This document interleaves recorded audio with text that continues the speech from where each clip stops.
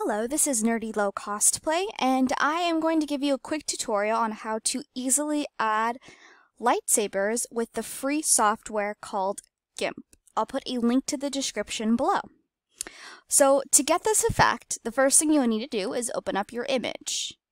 It's always a good idea to have um, like the blades in here as a background. It makes it way easier to do the edits. Okay, so this is the next one I have to do. I'm going to rotate it, keep the color, don't know what that means, but not super matter.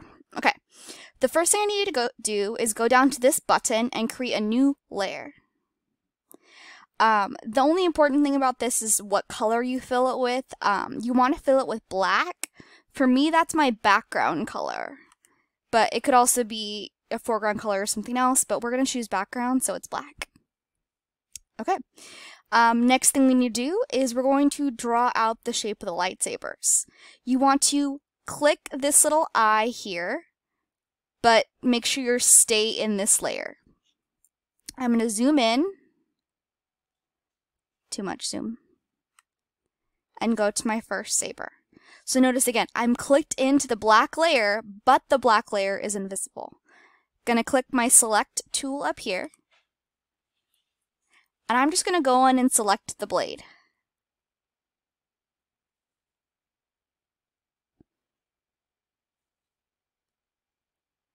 It doesn't have to be like super exact and perfect because you're going to end up blurring it later. Okay, that's blade number one done. I'm going to make my black layer visible by clicking that eye, go to the paint can, and then dye it white. Then I'm going to go to Select, None, make my black layer invisible again, and I'm going to do the other blade. Since my body is in the middle of the blade, you can't you can't do this in one go. You have to do one, two, three blades for each of the different pieces. So I'm going to do the same thing two more times. I'm going to select this guy.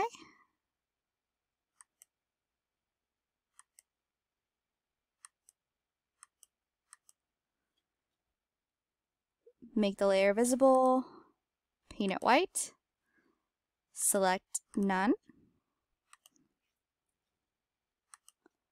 and select this one.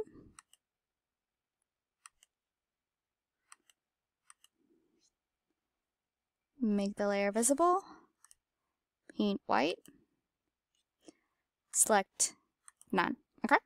So these are all my little lightsaber pieces. I'm going to go ahead and duplicate that layer. I right click, duplicate layer.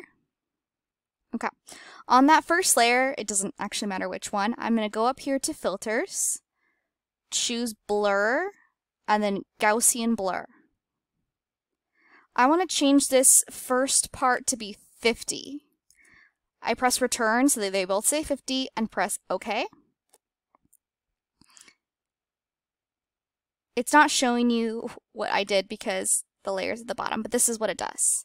Then to get it to the right color, I'm going to colorize by going colors, colorize, and then you can choose the color you want here. I have mine saved, so all my blades are the same color. Press OK. And then do the same thing to your other layer. For this guy, I want to do also filters, blur, Gaussian blur, but this time I want it only to be the number 15. That gives your blade a little bit more depth. Okay, and then again I'm going to colorize. Choose that same color.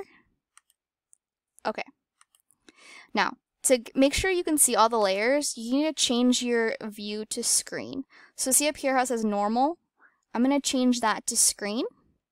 Then click this other one, change it to screen.